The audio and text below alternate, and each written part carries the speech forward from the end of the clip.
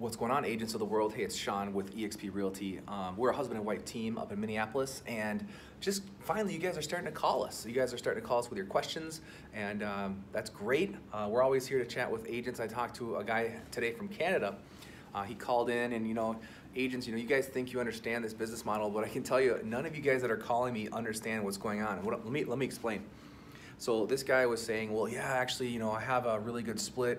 Um, I have a better deal with where I am right now. And I said, okay, that's fine. Um, I didn't make the decision based on saving a few thousand dollars here and there, but then I started asking him, let me tell you this. So, you know, the cap here is a, it's an 80-20 split with a $16,000 cap. I said, then we go 100% commission. And I, I basically told him, you know, we did that right away in the first, you know, couple months we were in business. So we've been on 100% commission for the rest of the year.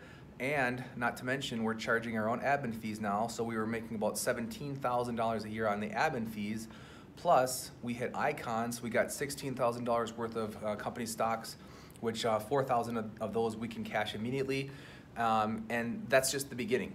And so tell me now if you have a better deal. And then he was like, oh yeah, I guess we don't, I guess I don't have that good of a deal because there's other ways uh, to make money in this thing, not just comparing, you know, it's not comparing apples to apples. This is a different model. So you guys have to understand, you can't look at this thing and just say, let's just talk only splits. Because what if I told you that there's about 17 different ways that we're making money in real estate now? So it's not just commission, guys. You have to start thinking like an owner.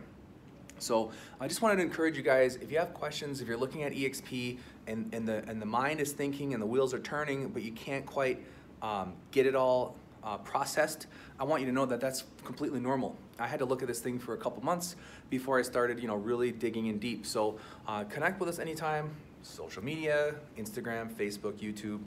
Make sure to subscribe. And uh, if you have questions, guys, let's just book a, a chat, book a call. And what I'll do is I'll kind of break it down and I'll kind of show you how this will pertain to your business.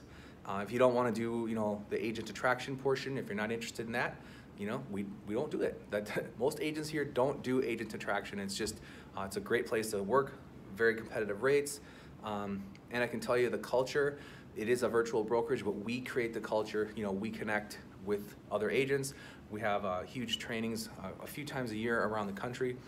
So um, a lot to learn, guys. Stay in touch. Sean Blanca Real Estate, agent entrepreneurs. See you later.